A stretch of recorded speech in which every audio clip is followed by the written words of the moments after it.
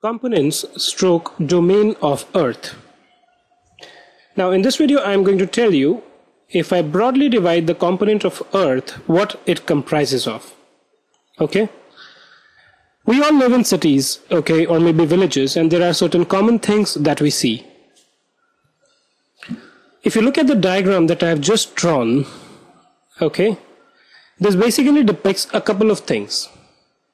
One is the mountains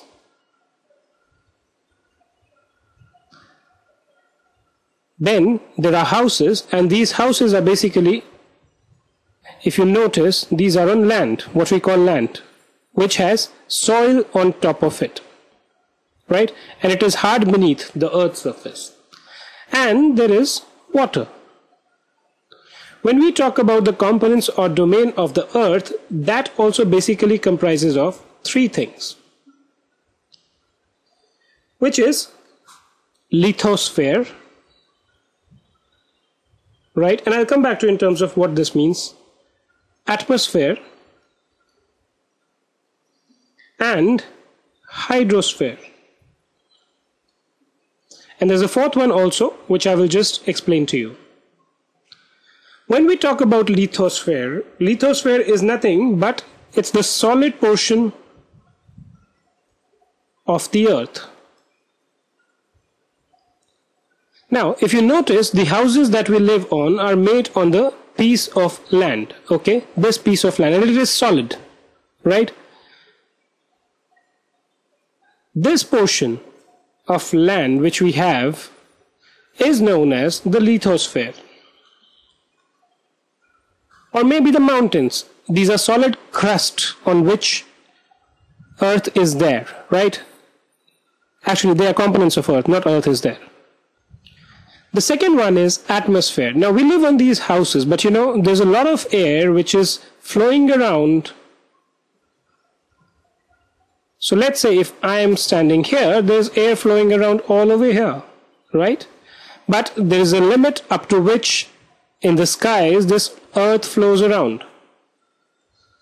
And this layer, okay, this layer up to which we have these various gases which actually make life possible on earth this layer is known as atmosphere.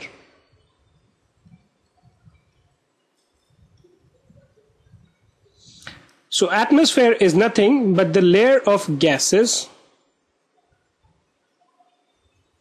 which surround earth.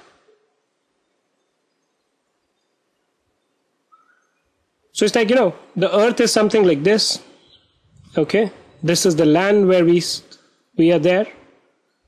And then there's a layer of earth uh, sorry layer of gases which is the atmosphere this blue mark which I'm telling you. And the third one is basically the hydrosphere okay? And hydrosphere is what? It's nothing. It's but the portion of the earth which is covered by water so let's say when I talk about this river, this is what is known as the domain of earth which is known as hydrosphere. We will study about each one of them independently in separate videos. But as of now, this is what you need to know. Right? So lithosphere, something the solid portion of the earth, the where our houses are made. Atmosphere, the layer of gas around the earth where gases are there which makes life possible on earth and the hydrosphere, the part of the earth which is covered by water.